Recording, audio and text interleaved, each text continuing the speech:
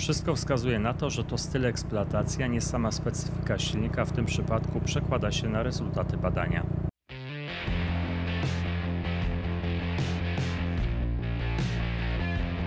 Witajcie w kolejnym odcinku na kanale R2D. Bohaterem tego odcinka będzie prezentowany samochód. Hyundai i30N, rok produkcji 2022, silnik 2.0 benzyna, 280 koni mechanicznych, przebieg 28 300 km. Cel główny odcinka to sprawdzenie w jakiej kondycji jest olej, który pracował w tym samochodzie. Wyróżnikiem tego odcinka będzie drugi etap badań dla tego samochodu, poprzedni znajduje się w odcinku numer 256. Inicjatorem tego eksperymentu jest Andrzej, na ekranie prezentuje podstawowe informacje o użytkowniku, jego wiek, miejsce zamieszkania oraz preferencje dotyczące wymiany oleju silnikowego. Andrzej skierował do laboratorium R2D taki oto zestaw. W środku znajdują się dwie próbki. Pierwsza próbka to olej nowy, który nie jest powiązany z próbką oleju przepracowanego na tym etapie. Andrzej zaznacza, że przesyła ten olej nowy Amsoil Extreme Power 0W30, żeby sprawdzić jak parametry tego Amsoila mają się do karty, ale również do Shella. Próbka numer 2 to olej przepracowany po przebiegu 4671 km. Referencją dla tego oleju jest próbka z poprzedniego etapu badań. Do samochodu zalany został olej Shell Helix Ultra ECT AH w klasie lepkościowej 0W30. Klasy jakościowe oraz aprobaty wpisujemy do tabeli zbiorczej. Nie było stosowanych żadnych dodatków.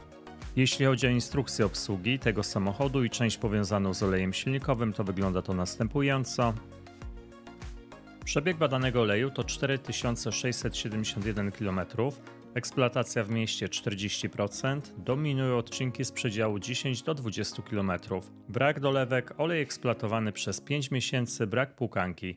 I tutaj w zasadzie są kluczowe różnice między dwoma etapami. Sprawdzimy w jakim stopniu przełoży się to na różnice w wynikach. W tym obszarze Andrzej dodaje, że zużyty Shell jest dokładnie z partii z beczki z poprzedniego badania. Główny cel to sprawdzenie, czy zmiana w charakterze rozgrzewania, jak i cykl wiosenny coś zmienił w stosunku do poprzedniego etapu. W ramach dodatkowych informacji Andrzej przekazał bardzo dużo treści poprzednim razem, m.in. historia wymian w tym samochodzie, plik CSV ze szczegółami, co się działo w okresie wymiany oleju, plus swoje obserwacje i przemyślenia. Przechodzimy do badań laboratoryjnych. Najpierw pomiar oleju świeżego, w drugiej kolejności próbka oleju przepracowanego, w tle podczerwień. Zapraszam do wspólnego eksperymentowania.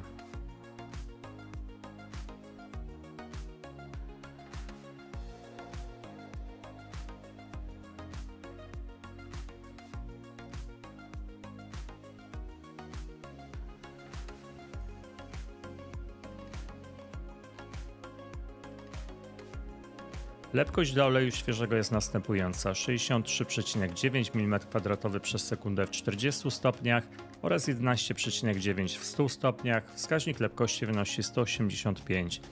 Porównujemy ten wynik z deklaracją producenta, obserwujemy zgodność na umiarkowanym poziomie w niższej temperaturze, różnica na poziomie 5% oraz zgodność na bardzo dobrym poziomie w wyższej temperaturze, różnica nie przekraczająca 2%.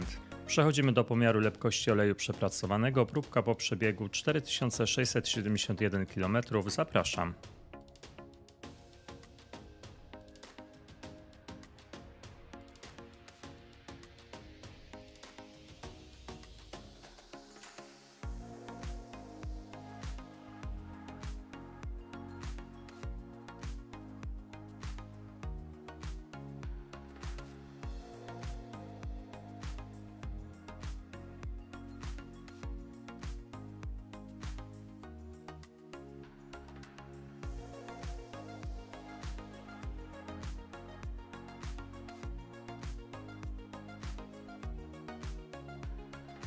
Lepkość dla oleju przepracowanego jest następująca: 58,97 mm2 przez sekundę w 40 stopniach oraz 12,0 w 100 stopniach. Wskaźnik lepkości wynosi 206.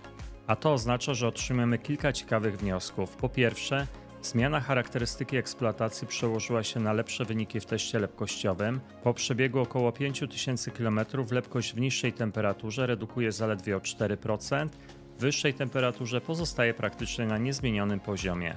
W stosunku do pierwszego etapu obserwujemy ewidentną poprawę, wciąż utrzymuje się pewna ciekawa zależność, Lepkość w niższej temperaturze redukuje mocniej niż w wyższej, co przekłada się na wzrost wskaźnika lepkości w jednym i drugim etapie około 4 do 5%. Wszystko wskazuje na to, że to styl eksploatacji, a nie sama specyfika silnika w tym przypadku przekłada się na rezultaty badania. Przechodzimy do kolejnego etapu badań, test bibułowy.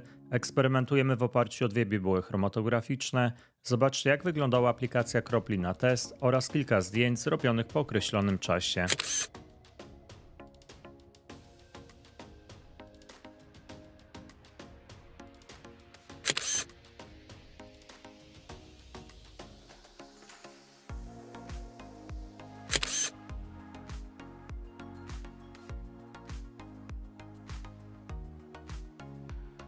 Oglądamy plamy z różnych perspektyw oraz przy wykorzystaniu dodatkowego podświetlenia. Plama pierwsza jasno-brązowa z delikatną strefą dyfuzyjną i bardzo szerokim rozmyciem, brak ciemnego środka, brak oznak sadzy czy polimeryzacji. Plama druga dobrze rozdzielona, złotawy środek, wyraźny żółty pierścień i jasna zewnętrzna aureola. Wnioski zatem podobne do tych z pierwszego etapu. Plamy są bardzo dobre, pokazują olej w dobrej kondycji, struktura dyfuzyjna bez większych zastrzeżeń. Porównujemy plamy z dwóch etapów ze sobą. Choć wizualnie plama po lewej wygląda na bardziej zagęszczoną i ciemniejszą, w rzeczywistości to ona miała większy spadek lepkości, co de facto może oznaczać większe rozcieńczenie paliwem. Z kolei plama po prawej, jaśniejsza i bardziej rozmyta, pochodziła z oleju, który w badaniu wykazał znacznie mniejsze rozrzedzenie. To doskonały przykład, że test plamy nie należy do łatwych interpretacyjnie narzędzi. W tym przypadku powiedziałbym, że bardziej pokazuje stopień dyspersji osadów, a nie realne rozcieńczenie paliwem. Dlatego warto go zawsze wspierać pomiarami lepkości lub widmem w podczerwieni, by mieć pełniejszy obraz tego, co dzieje się w silniku. Jeśli ktoś ma dodatkowo wgląd w koncentrację pierwiastków, zasadowość, kwasowość oleju, to już w ogóle jest inny pułap do wnioskowania. Przechodzimy do podczerwieni, rejestrujemy widma, przyglądamy się otrzymanym wynikom, porównujemy widmo oleju świeżego z widmem dla oleju przepracowanego, Następnie generujemy widmo różnicowe, żeby sprawdzić w jakim stopniu olej zdegradował z punktu widzenia zmian parametrów chemicznych. Podczerwieni następujące wnioski. Degradacja dodatków porównywalnie, zanieczyszczeń delikatnie więcej w pierwszym etapie, stopień sulfonowania podobnie, stopień nitrooksydacji podobnie, utlenienie oleju minimalnie większe w drugim etapie, co totalnie zaskakujące, sygnał o rozcieńczeniu paliwem większy w drugim etapie badań, mimo to nie przełożyło się to na większy spadek lepkości.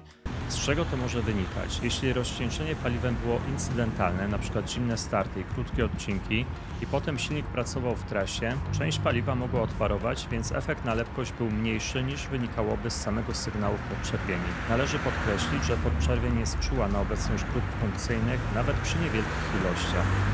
Podsumowując, agregując wszystkie zmiany w jeden wskaźnik jakości, otrzymujemy wartość 83%, o 2 punkty procentowe wyżej niż w pierwszym etapie. Lepszy wynik najprawdopodobniej to efekt zmienionej charakterystyki eksploatacyjnej tego pojazdu. Dziękuję za wspólne eksperymentowanie. Z góry dziękuję za aktywność na kanale, bo jest ona bardzo ważna. Komentarz, łapka w górę, subskrypcja kanału to sygnały dla mnie, że prowadzone eksperymenty spotkają się z Waszym zaciekawieniem. Zapraszam osoby zainteresowane udziałem we wspólnym eksperymentowaniu do kontaktu mailowego, znajdziecie go w opisie filmu. Dziękuję wszystkim patronom kanału za wsparcie inicjatywy prowadzenia eksperymentów na platformie YouTube. Wszystkich zainteresowanych zapraszam do tego grona. Do usłyszenia w następnym odcinku. Cześć!